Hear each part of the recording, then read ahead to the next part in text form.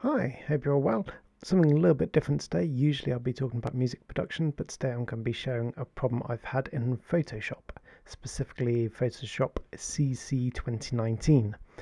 Now, I know that a lot of people have had this problem. I've seen in the forums and the Adobe um, help group, and um, yeah, a lot of people have had this problem, but it took me ages and ages and ages to find the solution. So I'm hoping to share that with you today, just so hopefully it will help someone else out because it took me hours to find this. Something really simple. So the problem specifically is what some people are calling the black windows of doom. Fun name for it. Um, but basically, any dialog box uh, will appear like this. It's all black.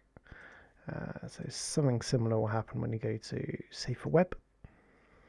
Just black. It's unusable which is not great.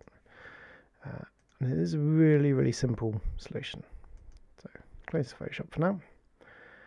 Nice photo of me and my wife. All you have to do is find Photoshop in your Finder. Uh, go to Get Info. And then find this little box saying Open in Low Resolution. Tick that. And now when you go back now when you open up Photoshop again, open with Photoshop,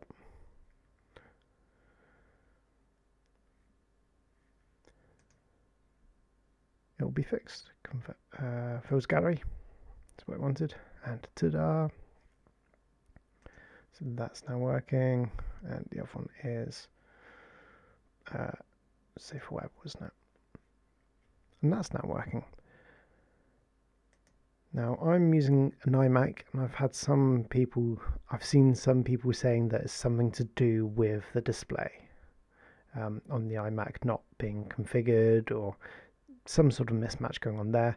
So that could be why. Now I can't actually see any difference after selecting open and low res mode, but I'm just a casual user. But I usually just use Photoshop for this kind of thing like here's an image, here's some text, put on a background, drop done.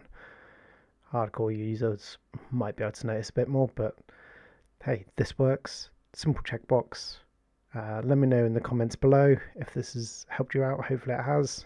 And uh, yeah, take care. See you next time.